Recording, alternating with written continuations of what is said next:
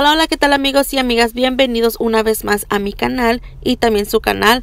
Hoy les traigo estas riquísimas gelatinas, yo espero que les guste.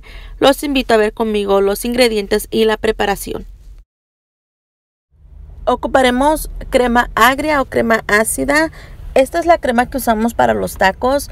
Ocuparemos un total de dos vasos y medio o un total de 24 onzas de crema. Una lata grande de durazno en almíbar dos paquetes de gelatina sabor a durazno. Cada paquete tiene que ser de 170 gramos. Un vaso de agua. Esto va a ser opcional si ustedes quieren omitir el jugo de durazno en almíbar. Pueden usar un vaso de agua.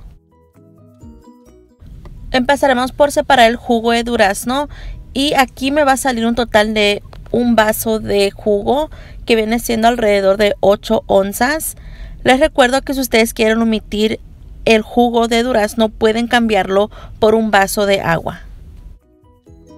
Enseguida lo pasaremos a una olla a fuego medio y vamos a esperar por unos 2 a 3 minutos hasta que suelte su primer hervor.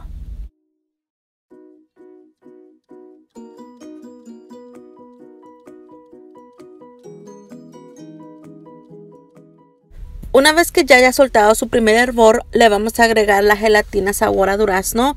Yo por aquí tengo dos sobrecitos porque son de la cajita pequeña. Y vamos a mezclar muy bien hasta que no nos queden grumos. También pueden usar la gelatina de Gary sabor a durazno, también les quedará muy rico.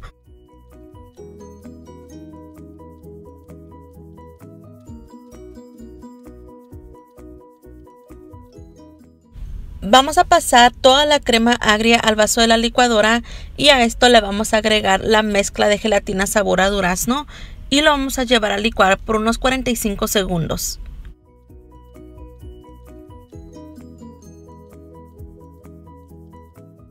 Los vaciamos a los vasitos solo hasta la mitad y de aquí los vamos a llevar a refrigerar por unos 15 a 20 minutos hasta que cuajen por completo.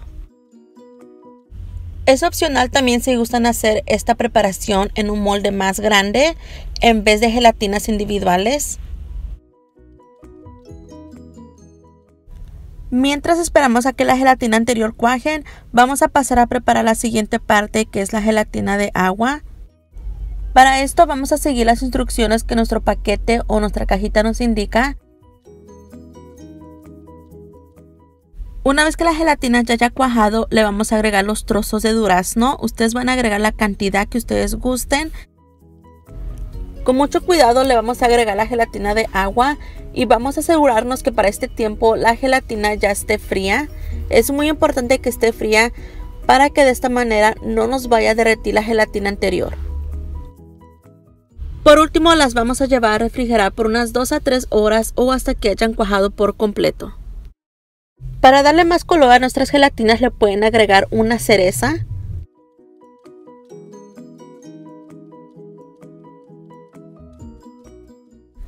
Esto fue todo por hoy amigos y amigas. Yo espero que les haya gustado esta idea de estas gelatinas. La verdad que es una riquísima opción para cualquier evento, fiesta o cumpleaños. Espero que las intenten. Les doy muchas gracias por ver mis videos y nos vemos muy pronto. Adiós.